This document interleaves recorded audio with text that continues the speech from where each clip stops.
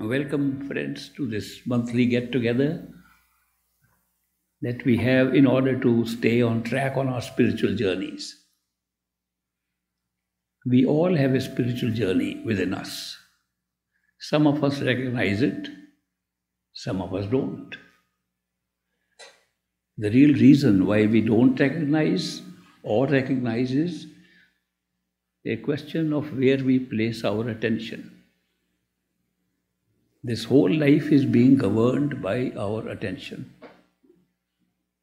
If we put attention on a particular subject, particular area, that becomes relevant for our life. And if we put attention on something else, that becomes relevant for our life. If we put attention on our own self, that becomes relevant. The whole game is a game of putting attention on experiences outside. I had a lovely friend of mine who just came from California, and I had a meeting with her before coming here. And we discussed something very interesting. We discussed what is experience. Because people want experience. People come to me, we want spiritual experience. We want to see how experience can give us a feeling we are enlightened. How experience can help us to know who we are. How we can experience our own soul. How we can experience that all these statements that are being made by all these mystics, saints, that they are true. What kind of experience is needed for all that? So I must have surprised her a little by saying that experience cannot tell you at all about the soul, about yourself, or about any of the spiritual things that masters talk. There is a big difference in knowing who you are and your experience. And when we use the word experience, we are always using in relation to something that happens in time and space. The word experience does not fit in with a state where there is no time and space. Whenever you want any experience, it involves something happening time and space. Moreover, to know who you are is not an experience. It's a knowledge of your state of being. And that state of being can be even beyond the limits of experience. If you examine very carefully what is the meaning of the word experience, you will notice it's purely a mental experience. It's purely a mental function. All experiences that we have are mental functions because the mind only operates in time and space. The mind is completely useless if we are talking of something beyond time and space. And that is why we are constantly searching for things with our intellect, with functions of the mind, and trying to get experiences of things which are beyond experience. There is no time and space beyond the mind. In fact, why we are here to have an un, unusual experience or to have experience per se is because we have a mind. And if you look back at the history of evolution of experience, evolution of life, evolution of all the knowledge we ever had, if you look back at the history of knowledge, history of all that we know, and go back, where did it originate from? It did not originate from an experience. Experience was an outcome. It originated from what has been described as a creative power, totally undefined. It has been called anami, nameless. Its original functions have been called agam, cannot be even known. Alakh cannot be described. How are these words being used for something that's the origin of all experience. So experience is very limited. The experience was generated so that we could have a totally new form of awareness in time and space. And that's what we have, we are having. Immanuel Kant, German philosopher, who had done a lot of work on the function of the mind, he comes to the conclusion that the categories of the mind are cause and effect. That the experience generated in time is the function of the mind. When he describes the categories of mind, he very clearly says that the real thing to create was in time and space, create events which become our experience and place them as cause and effect. You will notice this was a very big discovery that he made. And he explained, without knowing it, that he was explaining a very big law accepted in most religions, the law of karma. We all say, This is my karma. And karma is being defined as destiny. This is my destiny. I've been born with this destiny. What is destiny? Destiny is merely a collection of events that will happen in a life. There's no other definition. Destiny means certain events will happen and it's pre-written or pre-written or some of it we are modifying or what is happening, we don't know. But it is just a series of events. And those events in time and space are created with the relationship of cause and effect. If there was no relationship, they were all independent, there would be no law of karma at all. The law of karma, which says if you do good things, you will be rewarded. If you do bad things, you will be punished. And this law creates, because of the cause and effect relationship, it creates a resultant life for you based upon what good you did, what bad you did. All religions of the world have accepted it in one form or the other. All spiritual masters accept it. All of us who have gone through karma accept us, accept it, that we know we are going through our karma. We are going through good and bad luck based upon good and bad decisions we make. Sometimes we make a good decision in this very life and we get a reward in this very life.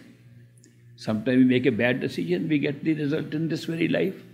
Sometimes there are things happening in our life we can't explain, so we say must have happened in a previous life.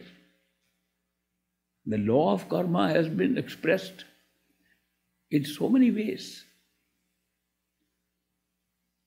A Christian friend of mine, who was, of course, reading the Bible very carefully, always, and made me write the Bible, uh, read the Bible very carefully also, he said, according to the teachings in the Bible, there is no reference to the law of karma. So, where does this law that you talk of, and we all seem to experience something like that, and you say all religions accept it, where has it been referred to in the Holy Bible? And I was able to pick up the right portion where a man comes to Jesus Christ with his son who is born blind. And he asks the master, Master, is my son born blind because of his sins or because of the father, my sins, the father's sins? He said, Why would the father's sins be responsible for creating blindness in the son? And the son is born with this blindness, how could he have created this? How do you explain? And if you watch the master's answer, he will he said, Jesus Christ said to that man, It is neither the sins of the child nor the sins of the father. It is that the law may prevail. And then, of course, the story goes on how Jesus interfered with that law.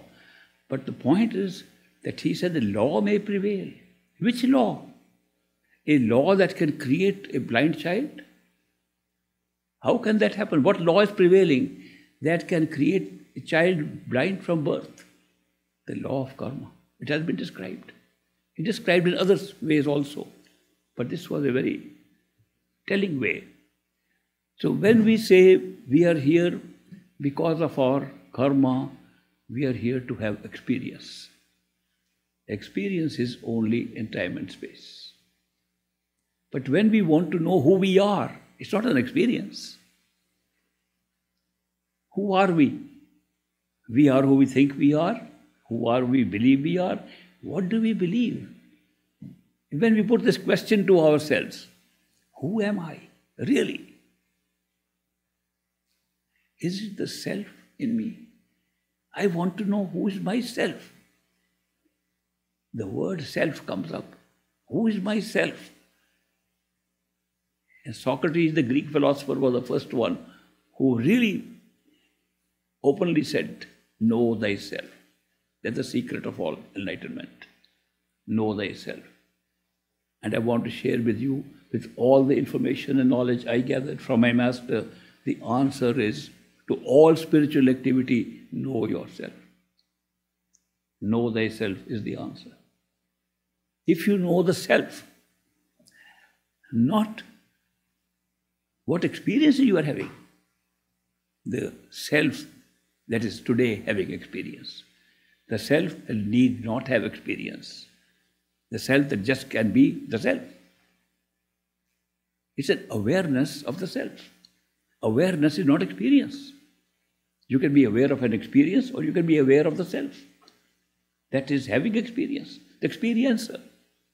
Who is the experiencer? When we look at this question, who is the experiencer?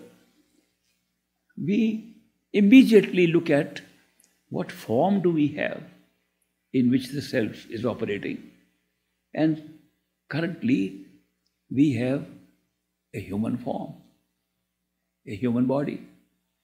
And therefore, we say, myself is this body, or maybe I am operating in this body.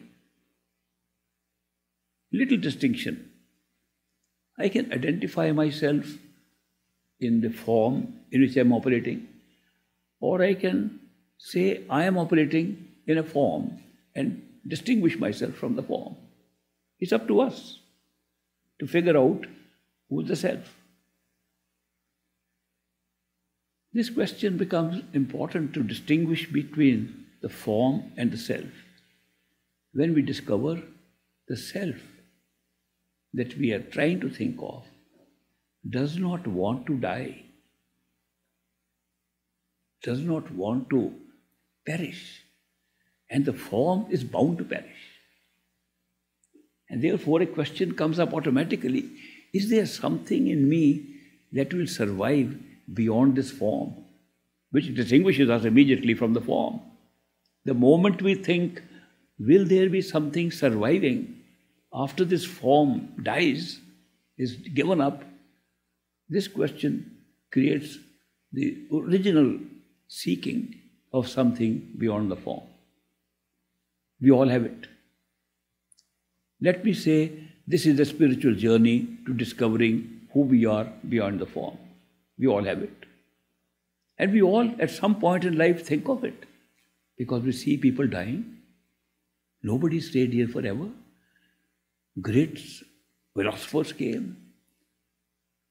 Great people came in every field of, of knowledge. They all died. Great masters came. They all died. Saints came. They all died. This form is obviously a very temporary thing, then it is an automatic question for all of us what else is there which we can call the self and is not the form? An investigation of that question is called a spiritual journey. There's no journey, we are not going anywhere. Some people describe a spiritual journey as if it is going from point A to point B. It's not a correct way to do, describe it. Point A to point B would be an experience. Knowing who you are is not an experience, it's knowing a knowledge, awareness.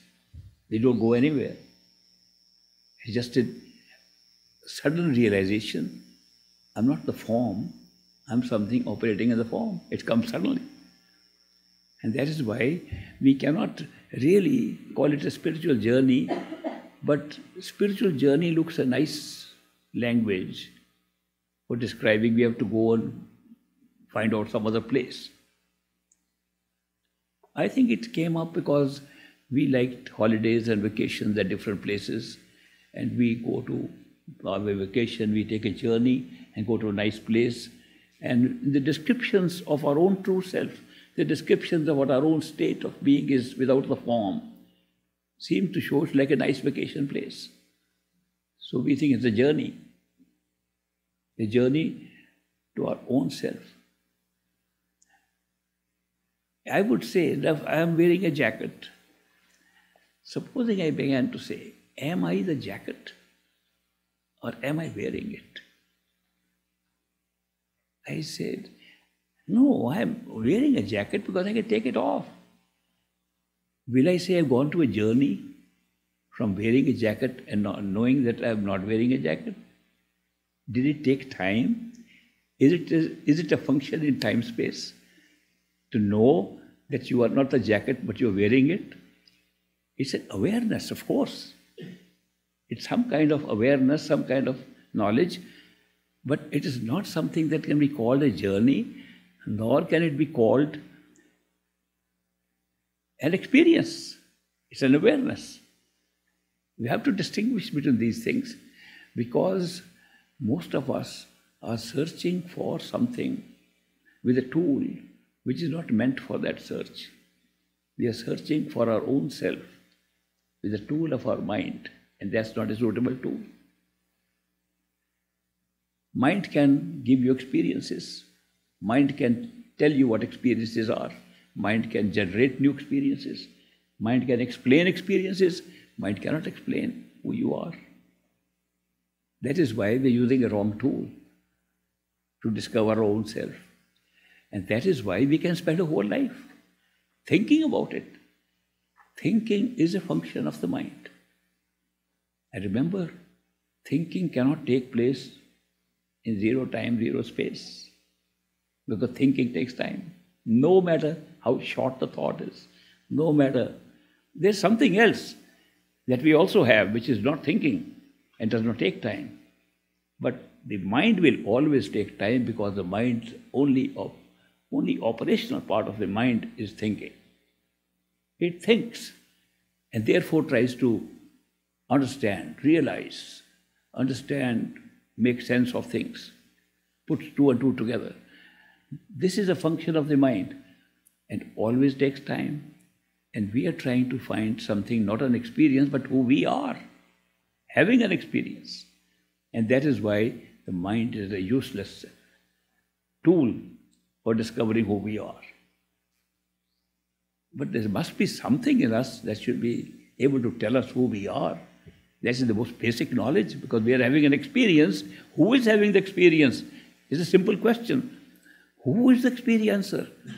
Who has a form right now of a human body? Who is the one that is using the human body? A simple question. And the answer should come not from an experience, answer should come from an awareness of who you really are and not the body. When we think hard, we'll never get the answer. And people are trying to get the answer by thinking hard.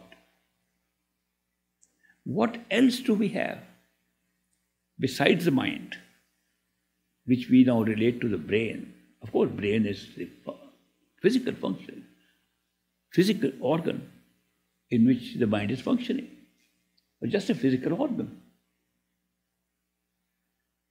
The brain by itself is just where the self is operating from. It can't become the self. You can't make any kind of an equipment or any kind of a form that you design and it becomes the self. The self is the one that made it, the one that uses it. Therefore, the self that is using the brain, the self that is using the body, the self that is using and saying, Who am I who's using the body? Who am I who's using the brain? This question comes up, and we try to think with the brain, we never get the answer because the mind works in time and works in experience. not the experiencer. But there is something else in us which we can't really describe because it's not an experience. All descriptions are of experiences.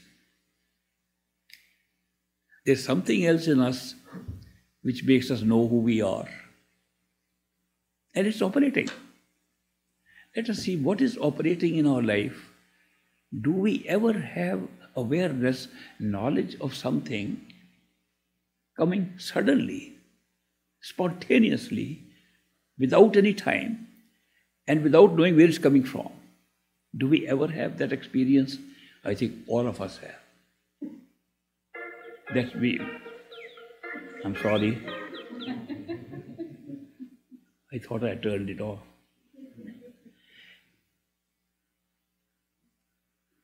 That's another story I was going to tell you, but a little later. the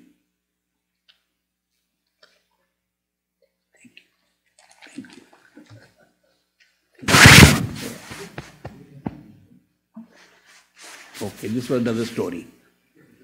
Thank you. What we call that sudden experience is given different names by us. We call it intuition, intuitive knowing. Intuitive knowing has never taken place in time or space. It just comes. We don't know where it comes from. It comes from inside, not outside.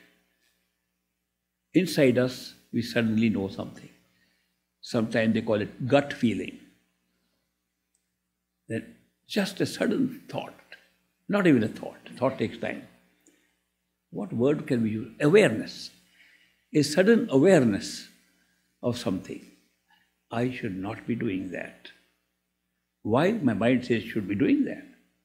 What is this strange feeling? Not a voice. A voice is an, a thought a sudden feeling I should not be doing that or I must do that. Where does that come from? And we all get it. I have not met one person in life who says they never had this kind of gut feeling about things.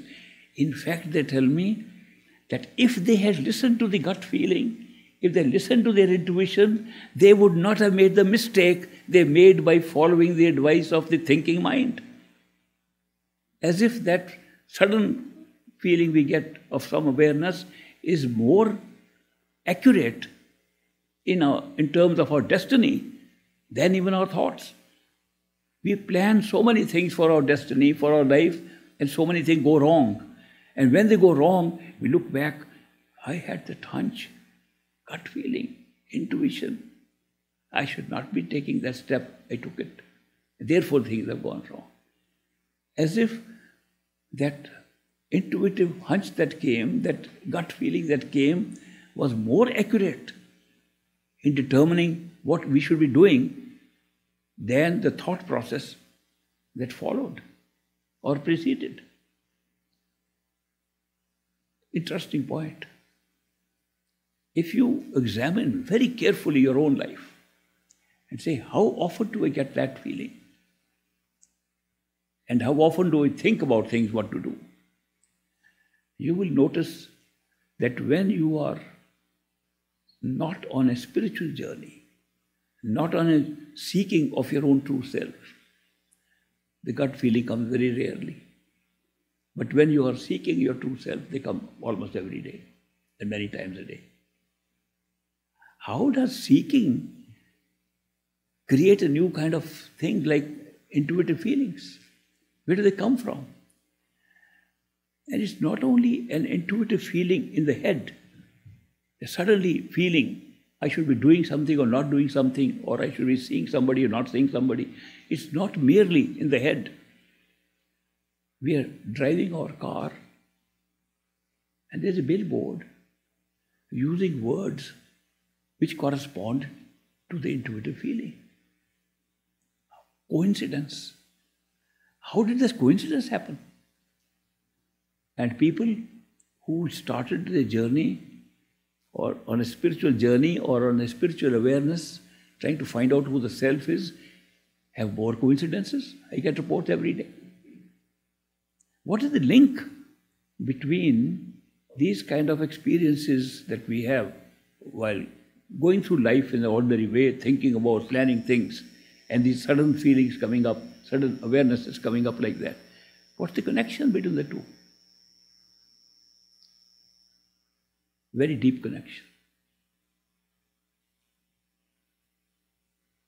Those who have had an awareness of the self, not the body, the self that operates the body, self that can be called life, self that can be called consciousness, self that can be called the power that gives us experience of any life, anywhere. If we can call that the self, those who have had experience of the self, and not of the form, have called it the soul. Nobody knows the soul. Have we seen our soul? No. Why? The soul is like our two eyes. Have we seen our eyes? No, we can see a reflection in the mirror. Nobody can see their eyes. We see. Seeing is all right, it's experience. But who is seeing is not an experience, experiencer. So that is why those who have had this awareness of the self, and anybody can have it, it's open to all human beings. A spiritual journey or being on a spiritual path or spiritual discovery or discovery of the self is no other than discovery who the experiencer is. That's all.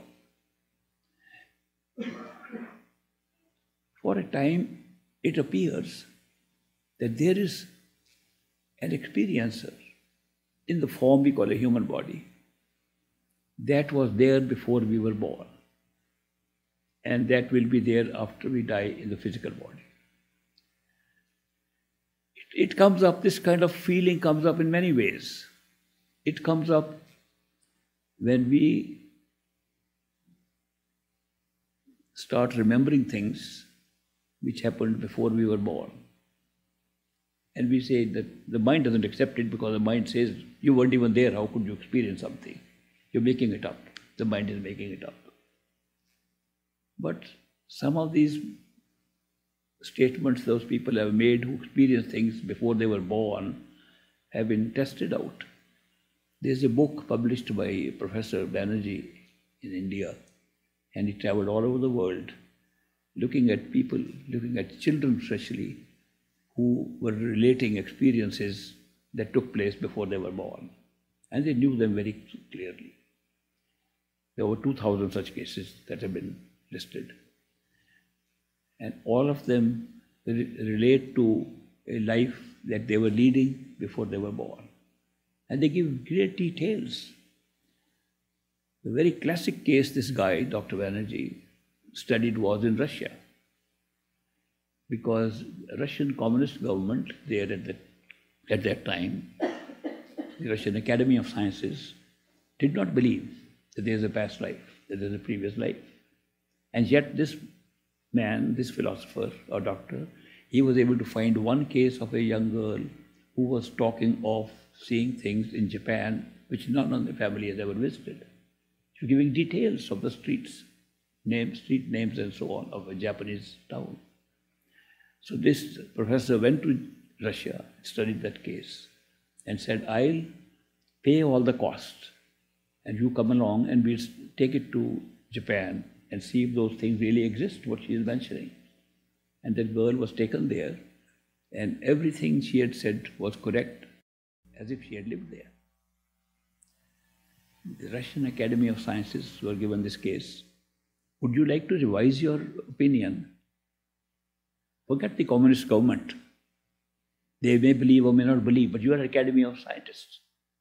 You should be able to study this case and see how can this girl young girl, seven, eight years old girl, be talking of things which are not known to anybody there in that area and are happening in a country so far away like Japan. And the academy representative also accompanied. That's a stand, big experiment that was done. And saw and said, yes, this girl is speaking of the things that exist in Japan. Therefore, this professor, a doctor, he said, obviously, she lived there and therefore there's a previous life. The academy studied this case and they came to the conclusion this is not a proof enough of a previous life. And the reasoning they gave for dismissing the theory of reincarnation and previous lives, theory they gave is that when a person dies, all the cells are not dead. All the cells of the body they dissipate and they fly in the air. And there's a westerly winds that carry all those cells all over the world. And when the new child is born, those cells can be picked up from anywhere.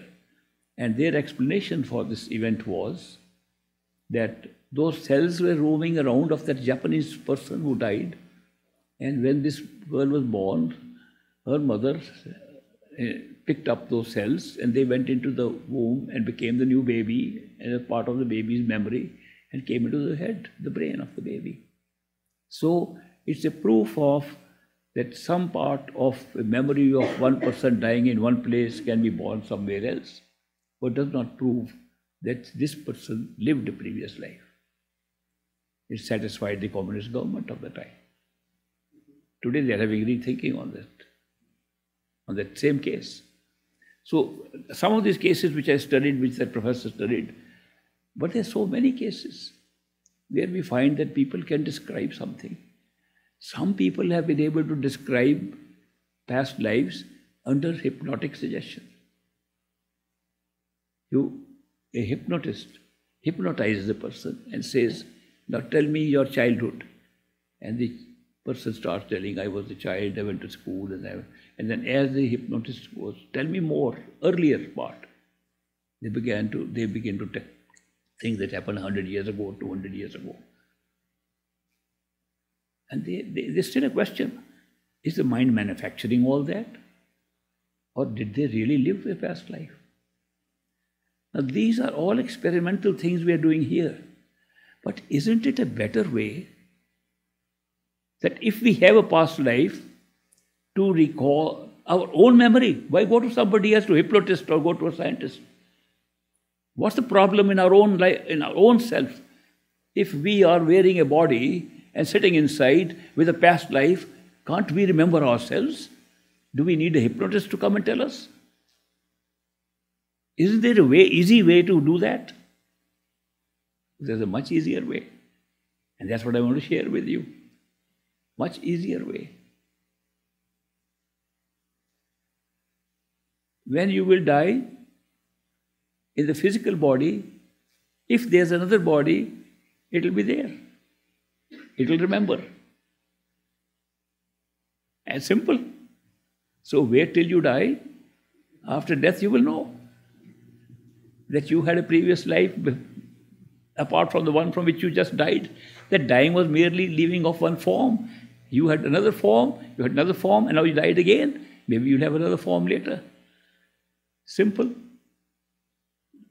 The only problem will be that you will know because you are dead. You try to tell us and we won't be able to see you or hear you.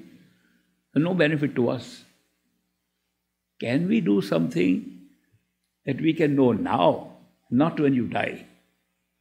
And the answer to that is yes. You can die while living in the physical body and have the same experience.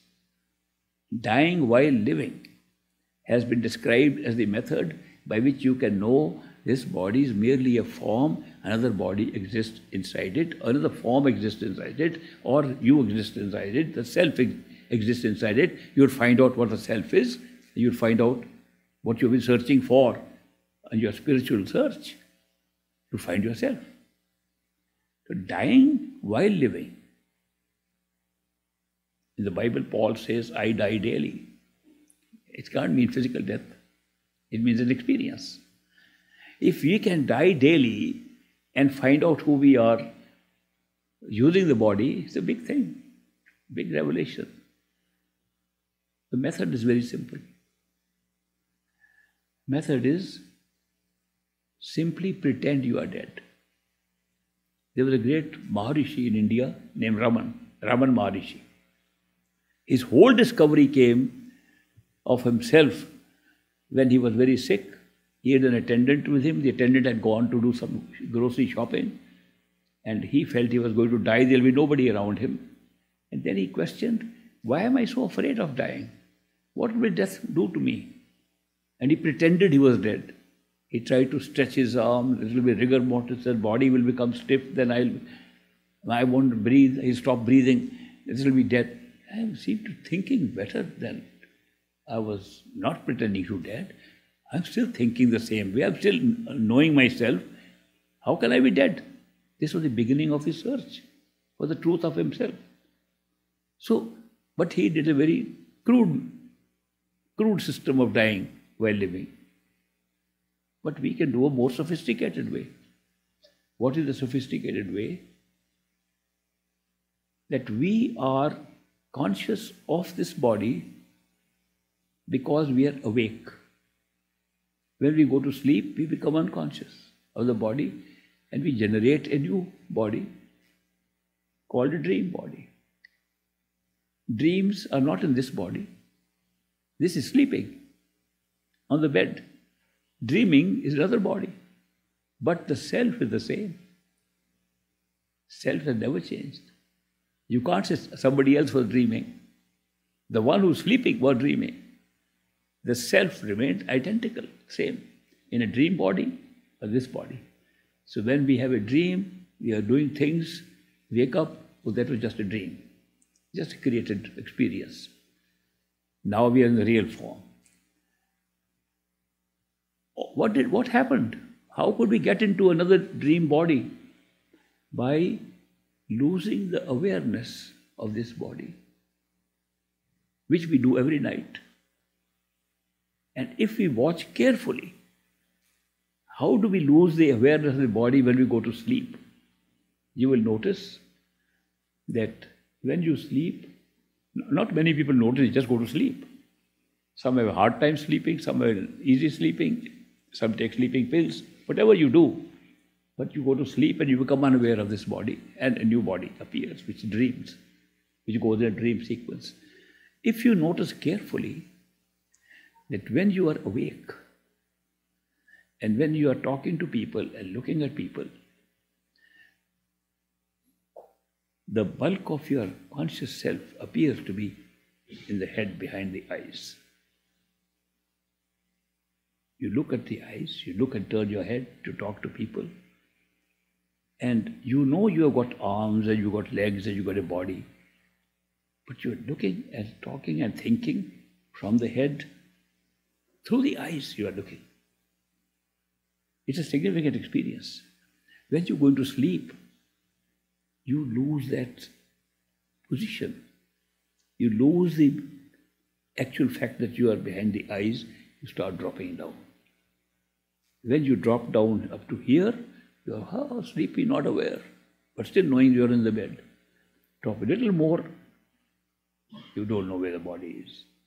Little more, you're dreaming. Now, this can be tested very easily, even tonight. When you are sleeping, when you feel very sleepy, try to t- touch your eyes. Normally, anybody can touch eyes. I know where the eyes are. But when you are half asleep or getting sleepy, try to touch your eyes. You touch your nose and you think you are touching your eyes. This process that takes place of a descent in the physical body of something that is connected with your awareness of physical wakefulness. The very significant point that it actually drops down. And when it drops down and comes up to throat, you are dreaming. How do you know that? You know it is dropping down, you can find out, anybody can find out. But when this drops further, you are not unaware. In the sleep studies that people were done by dream and sleep studies in the 60s when I came here, found that if you touch the throat of a person in a dream sequence noticed by the rapid eye movements, the person would say, Don't touch my eyes. The eyes had moved there. The way from where we look at has moved there. It's a very interesting fact. Some yogis have a practice by which they can keep part of the awareness of wakefulness and then get into the dream state and they know how they moved. In fact, this is merely one of the energy centers of the several energy centers. We have six of them in a body, and people have been able to put their attention on the energy centers and had different experiences. You can put your attention on the throat center. Just think of nothing but throat, and you have a dream right now. You can try it out. So these are different.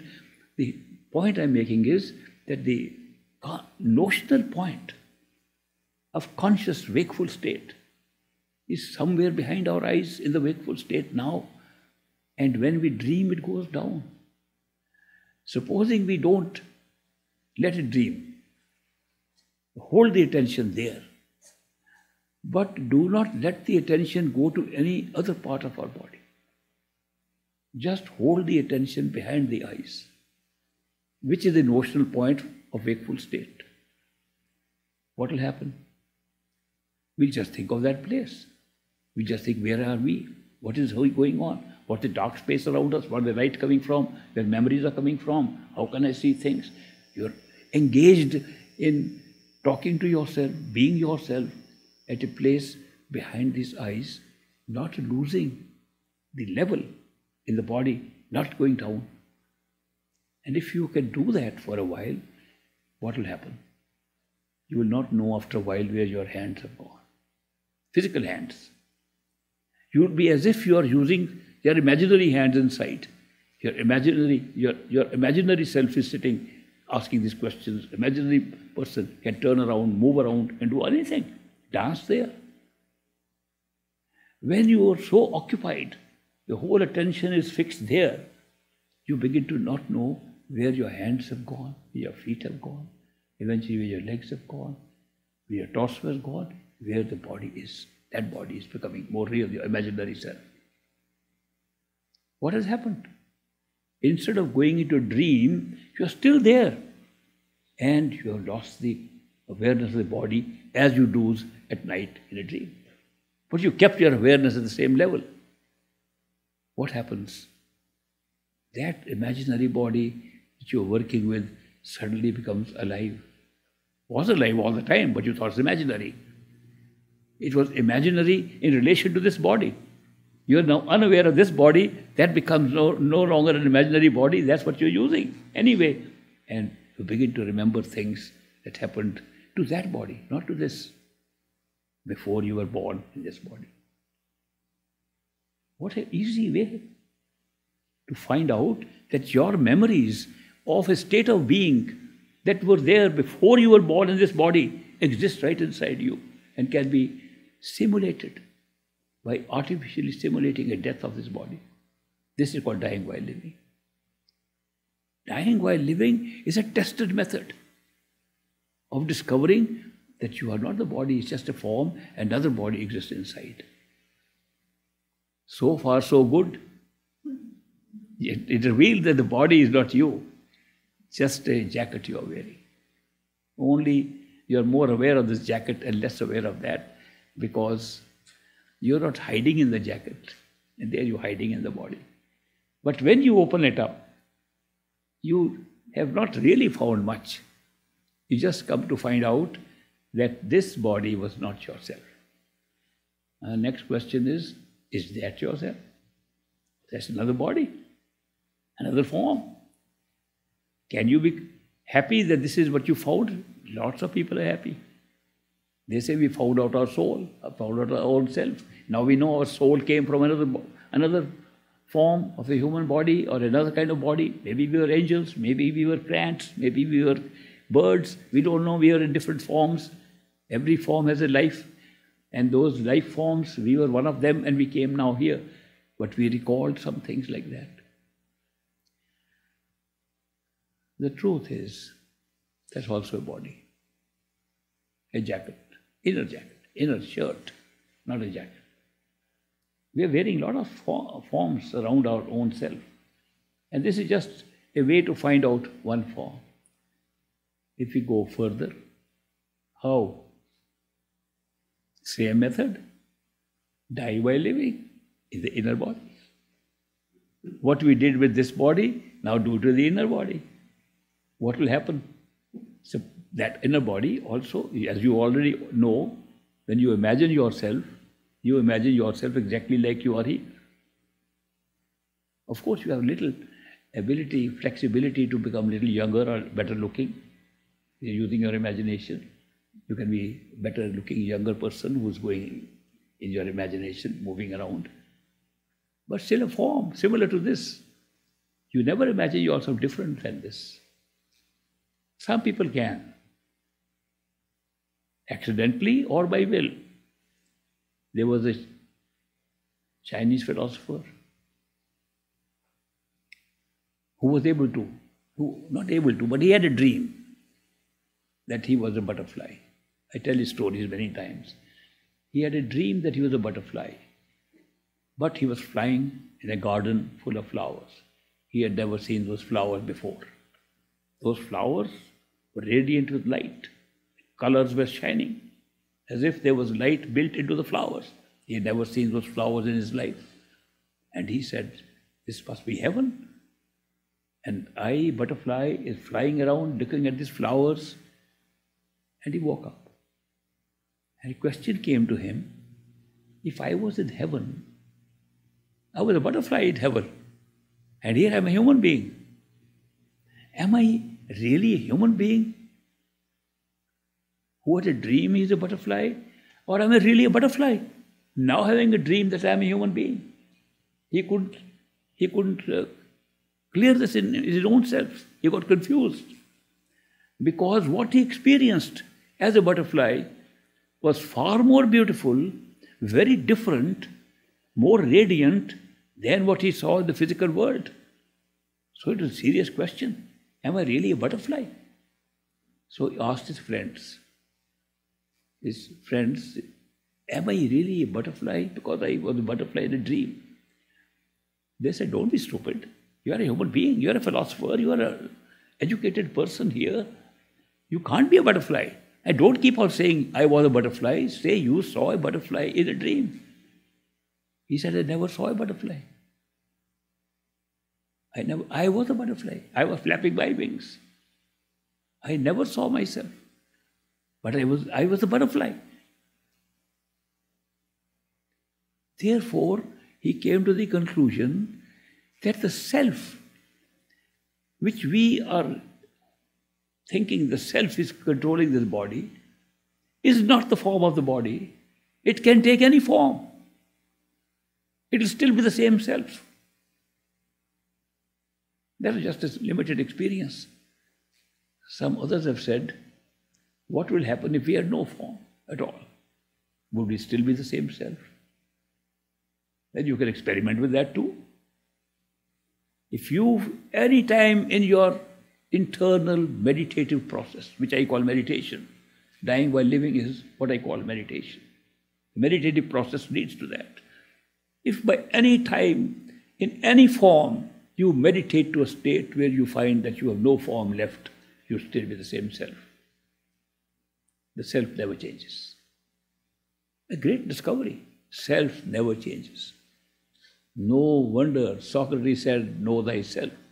The self never changes, it's only reality. All others, others change.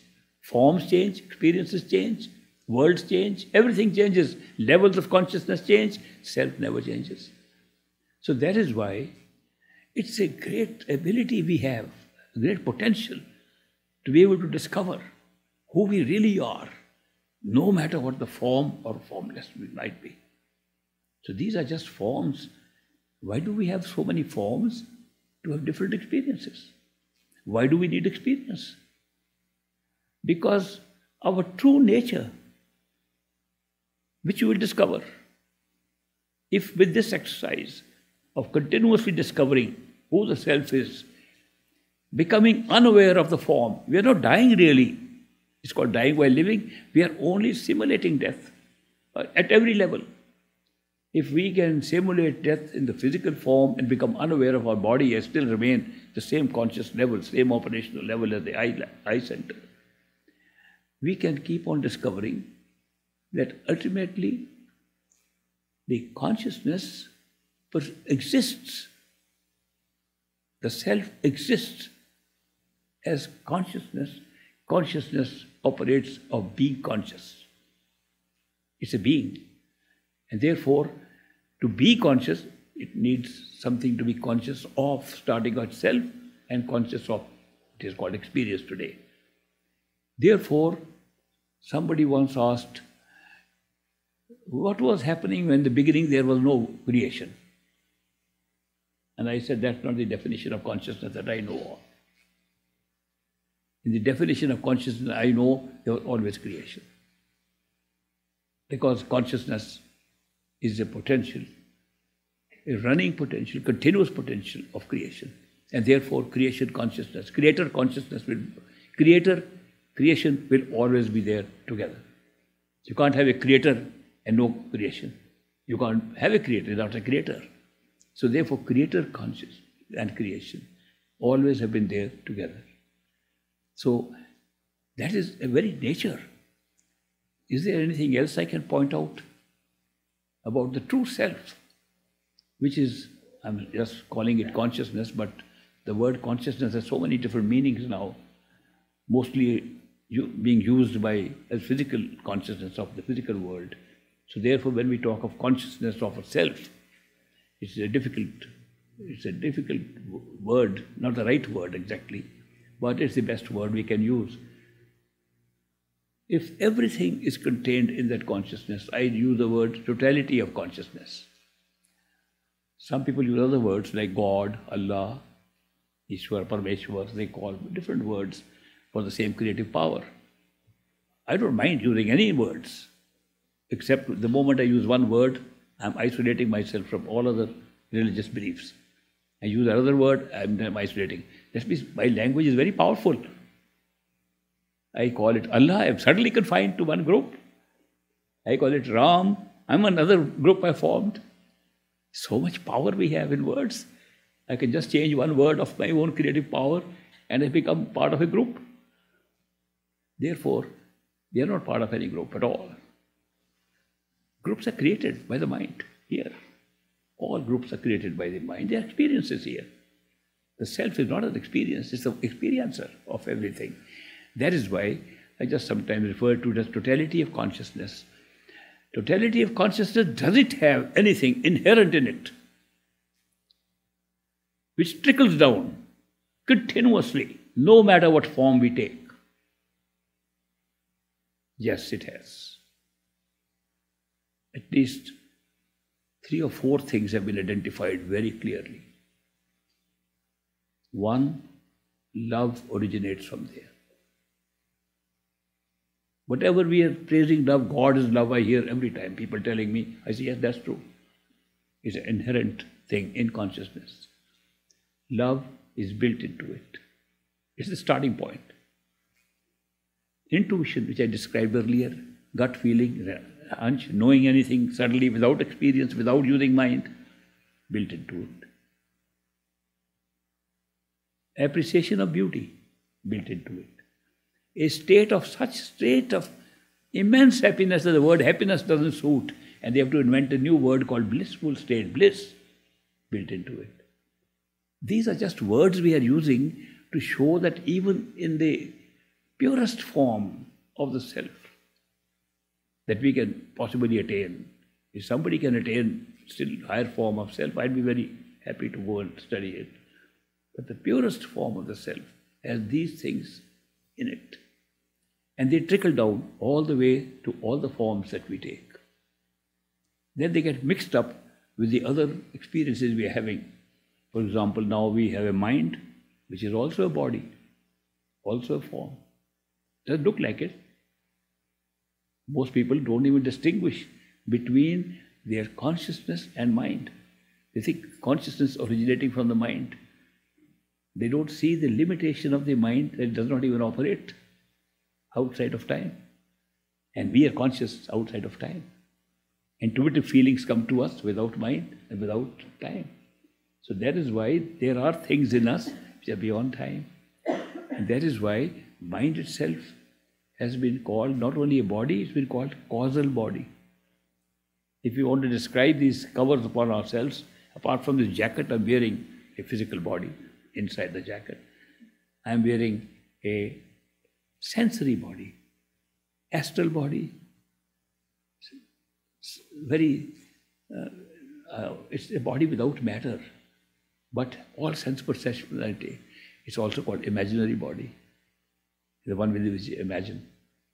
All imagination comes from there, including our own sense of a body. Sense perceptions are all intact completely. Matter is not there at all. It's a non material sensory body, and we look at it as the same shape, but it can change into a butterfly, can change into any form we like. The will inside that body can change its form.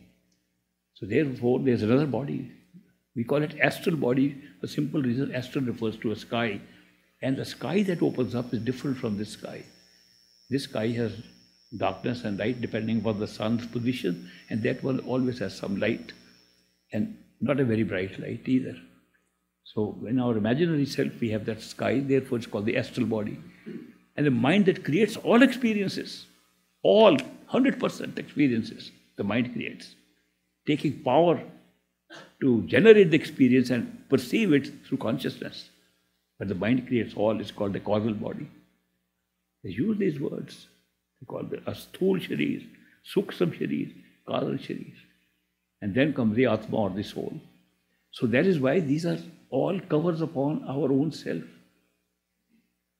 The final cover is so subtle. Not many people have even described it. That when we find our own soul, there's a final cover on it. It's not visible like these covers.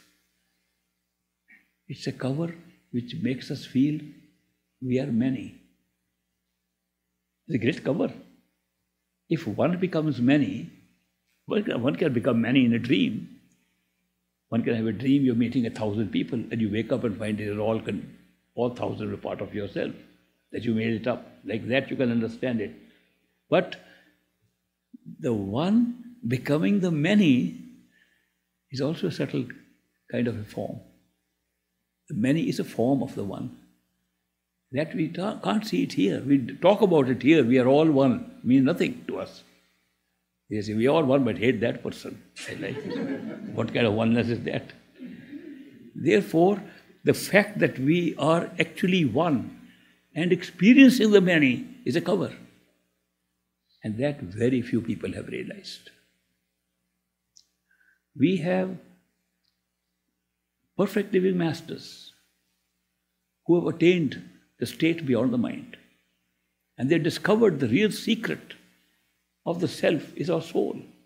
The secret is the one that generates a mind and then generates experience through the mind. That's our own self. They found the soul. And they found the soul has no birth and no death because there's no time. Birth and death are being created by the mind. Soul cannot have birth and death because beyond time.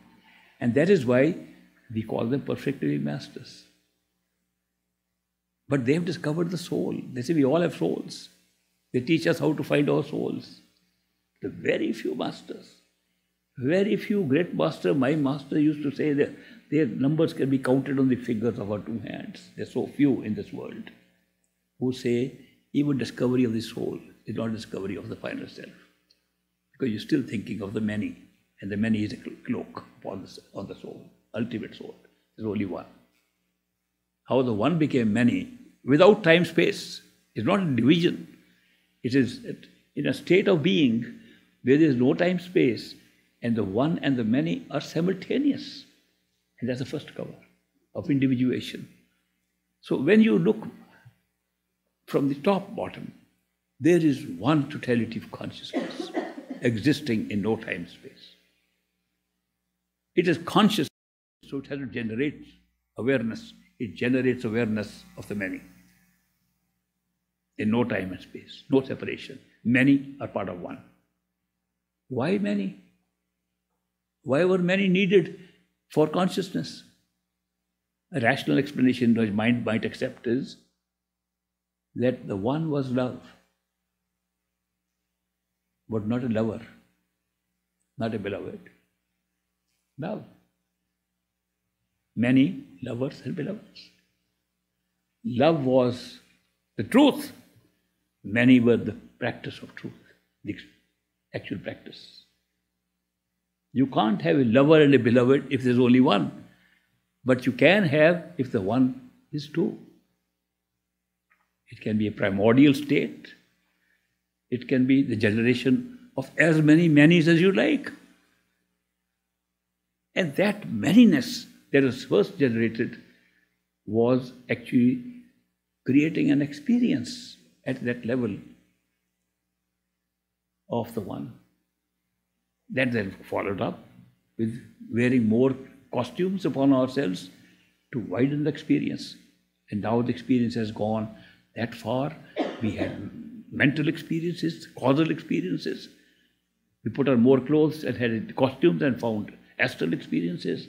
And now we're wearing a third set of heavy clothes called the human body, is giving us a physical experience. Today we have a capacity to do any one of these experiences we like by dying while living, which can be taught very simply through process of meditation. Meditation is nothing but the art of withdrawing your attention from outside, putting it inside. That's it. And when you can practice that, you can have all the experiences I've spoken to you today. And all of you are competent and capable of doing it. I hope many of you would like to practice it. We'll take a break now on some snacky, snacky stuff.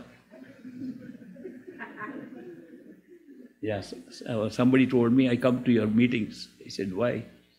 Snacks are good. I said, welcome. We'll put better ones next time. Thank you very much. I'll see you briefly again after about 3.30.